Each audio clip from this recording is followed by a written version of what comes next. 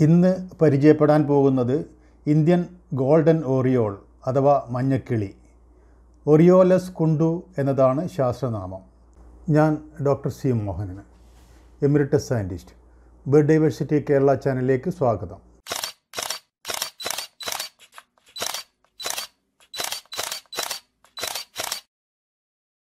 കേരളത്തിലെ പക്ഷി വൈവിധ്യത്തെക്കുറിച്ച് ആധികാരികമായ വിവരങ്ങൾ നൽകുന്നതാണ് ഈ ചാനൽ. പക്ഷികളെക്കുറിച്ചും ബേർഡ് വാച്ചിങ്ങിനെക്കുറിച്ചും കൂടുതൽ അറിയാൻ ഈ ചാനൽ സബ്സ്ക്രൈബ് ചെയ്യൂ. നോട്ടിഫിക്കേഷനായി ബെൽ ബട്ടൺ പ്രസ് ചെയ്യൂ. ഇന്ന് പരിചയപ്പെടാൻ പോകുന്നത് ഇന്ത്യൻ ഗോൾഡൻ ഓറിയോൾ അഥവാ മഞ്ഞക്കിളി. ഒറിയോലസ് കുണ്ടു എന്നതാണ് ശാസ്ത്രനാമം. ഇന്ത്യൻ ഗോൾഡൻ ഓറിയോൾ അഥവാ മഞ്ഞക്കിളിയെ ഇതിനു മുൻപ് യൂറേഷ്യൻ മഞ്ഞക്കിളിയുടെ ഒരു ഉപജാതിയായിട്ടായിരുന്നു കണക്കാക്കിയിരുന്നത്. മഞ്ഞക്കിളി ഇന്ത്യൻ ഉപഭൂഖണ്ഡത്തിലും മധ്യേഷ്യയിലുമുള്ള മിക്ക രാജ്യങ്ങളിലും കണ്ടുവരുന്നു. മഞ്ഞക്കിളികൾ ഭാഗികമായി ദേശാടകരാണ്. മഞ്ഞക്കിളികൾ പ്രധാനമായും Uzbekistan Turkmenistan Kazakhstan Kyrgyzstan Tajikistan Afghanistan Pakistan പടിഞ്ഞാറൻ ചൈന നേപ്പാൾ ഇന്ത്യ ഭൂട്ടാൻ ശ്രീലങ്ക എന്നീ രാജ്യങ്ങളിൽ കണ്ടുവരുന്നു. ഇന്ത്യയിൽ തന്നെ ഉത്തരേന്ത്യൻ സംസ്ഥാനങ്ങളിൽ കണ്ടുവരുന്ന മഞ്ഞക്കിളികൾ അവിടെ സ്ഥിരവാസികളാണ്.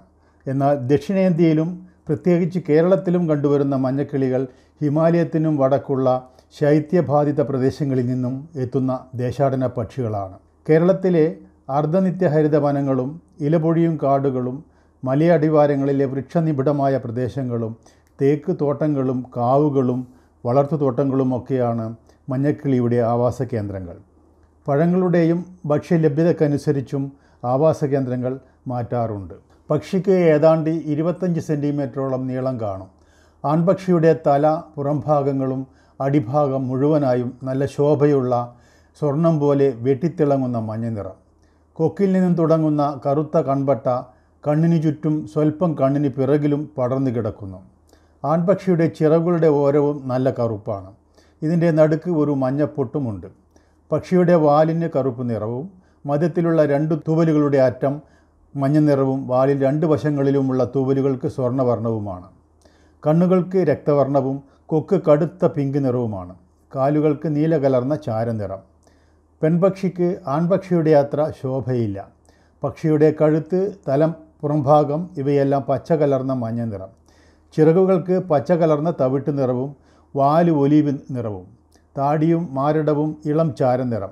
ഉദരഭാഗത്ത് മഞ്ഞ കലർന്ന വെള്ള നിറം. പക്ഷിയുടെ അടിഭാഗമെല്ലാം കറുപ്പ് കലർന്ന തവിട്ട് നിറത്തിലുള്ള നിരവധി കുത്തനെയുള്ള വരകളും കാണാം. പ്രായമെത്താത്ത പക്ഷികൾക്ക് മഞ്ഞ നിറത്തിലുള്ള മുഖവും മഞ്ഞ കൺപുരികവും കറുത്ത കൊക്കും അടിഭാഗമെല്ലാം കടുത്ത തവിട്ട് നിറത്തിലുള്ള വരകളോട് കൂടിയതുമായിരിക്കും. മഞ്ഞക്കിളിയുടെ പ്രധാന ആഹാരം ചെറിയ പഴങ്ങളും കായ്കളും പൂന്തേനും പ്രാണികളും പുഴുക്കളുമൊക്കെയാണ് ചിത്രശലഭത്തിന്റെയും മറ്റും വലിയ പുഴുക്കളെയും പിടിച്ചു തിന്നാറുണ്ട്. വലിയ പുഴുക്കളെ മരക്കൊമ്പിൽ അടിച്ച് പദം വരുത്തിയാണ് ഭക്ഷിക്കാറുള്ളത്.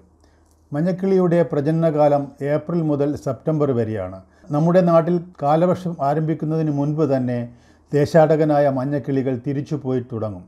തിരിച്ചു പോകുന്നതിനിടക്ക് മുൻപുള്ള മഞ്ഞക്കിളിയുടെ ലോറിയോ ലോറിയോ ലോറി എന്നോ മറ്റോ ഉള്ള ശ്രവണമധുരമായ നീട്ടിയുള്ള വിളികൾ കേൾക്കാവുന്നതാണ്.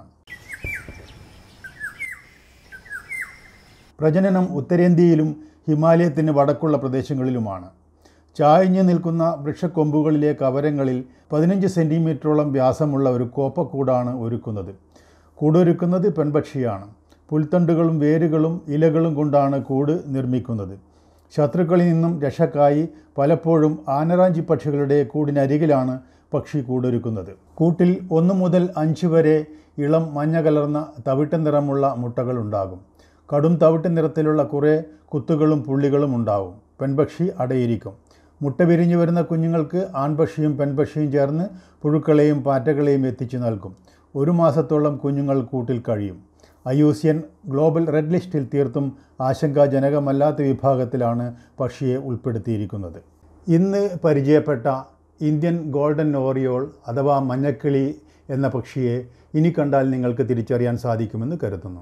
ഇതുപോലെ നമുക്ക് ചുറ്റും സ്ഥിരവാസികളും ദേശാടകരുമായ നിരവധി പക്ഷികളെ കാണാവുന്നതാണ്. അവയെക്കുറിച്ച് കൂടുതൽ അറിയാൻ ഈ ചാനൽ സബ്സ്ക്രൈബ് ചെയ്യൂ. ലൈക്കും ഷെയറും ചെയ്യാൻ മറക്കല്ലേ. നിങ്ങളുടെ വിലപ്പെട്ട നിർദ്ദേശങ്ങൾ കമന്റ് ബോക്സിൽ രേഖപ്പെടുത്തുക. നന്ദി നമസ്കാരം.